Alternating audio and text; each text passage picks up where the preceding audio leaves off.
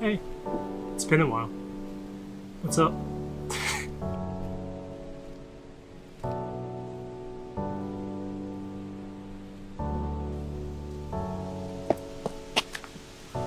Alright, so to be honest, I didn't plan what I'm going to say at all before I turned on the camera because I'm an idiot and I just wanted to get something out because I haven't posted a video in like, at least not of this nature in over a year. So I wanted to stop making excuses and just get something out like fucking finally. I truly believe that barring any sort of physical limitation that you can become what most people would consider proficient at any skill.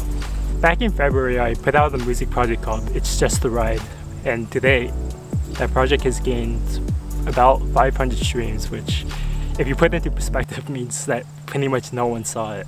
This is a project that I've been working on for years. I think the oldest song on that project I wrote when I was like 19, about five years ago. So that begs the question, what the fuck happened? Why did it take so long? And truth is, the answer is fear. I kept tweaking and tweaking it and I kept thinking this could be better, oh, this could be better. And at some point I just got overwhelmed and stopped working on it completely. My thought process was that I need to improve myself before I could put out this project because I need it to be perfect. So that's what I did. I read and watched as many tutorials as I can to absorb as much information as possible, almost in hopes that it would quench this fear of mine.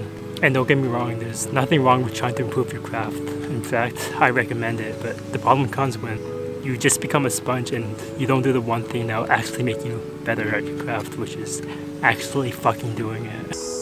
What I ended up doing halfway through 2019 was I took all these half-baked ideas and I gave myself a hard deadline. I knew that number one, I wanted to release the songs in 2020, and number two, I wanted to film videos for each one. So I gave myself two months to finish any song, and I gave myself another month to finish all the videos.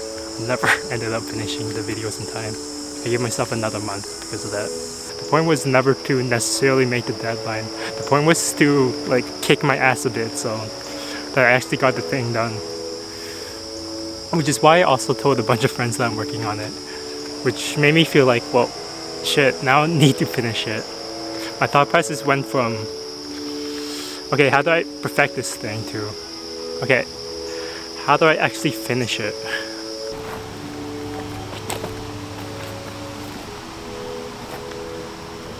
And finally on September 27th, 2020, I released my first EP, completely mixed and mastered myself.